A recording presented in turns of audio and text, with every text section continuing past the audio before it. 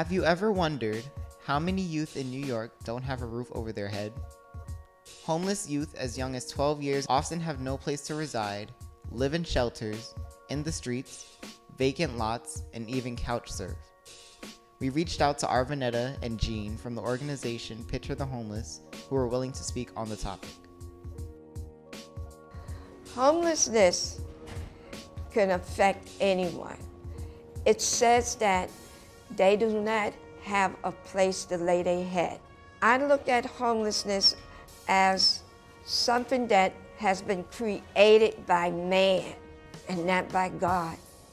The hardest thing for me to do is to help them overcome the apathy because if you are constantly told that you are less than worthy, less than entitled, pretty soon you internalize that and you start acting out the erroneous stereotype when I know that my youth can be so much better than that, like the four you standing in front of me.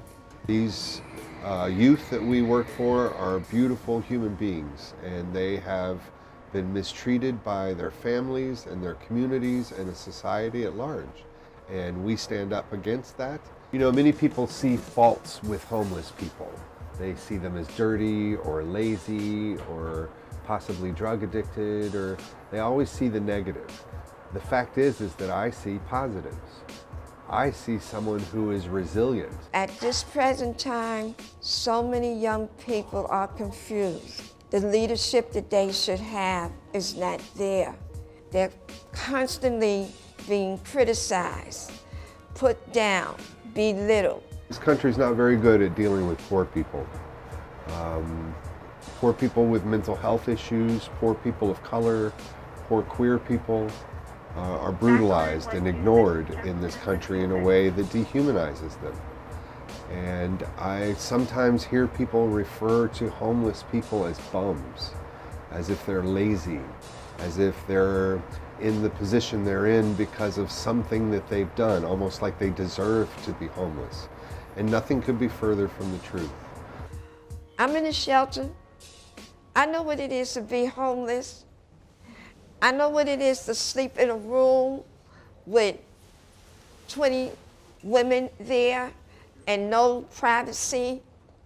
I know what it is to be in another room where there's only there's six people sleeping and you only have one bathroom. Yet these women would get up, like myself, and the um, Board Ed didn't know I was in the shelter at that time, and I go on to work, get dressed, so you would not know that I was homeless. Uh, and unfortunately, one out of every four kids who's coming out below the age of 18 is being met with violence and rejection by their families. Um, being openly gay under the age of 18 is now the leading cause of homelessness amongst teenagers. They're survivors and they're amazing, brilliant, talented, beautiful people who've just had some hard times and are trying to deal with our country's lack of services and the general public's uh, judgment of them. The Scandinavian countries can have universal housing, universal health care, and universal education. The Scandinavian countries, Denmark, Norway, um, how can they do that?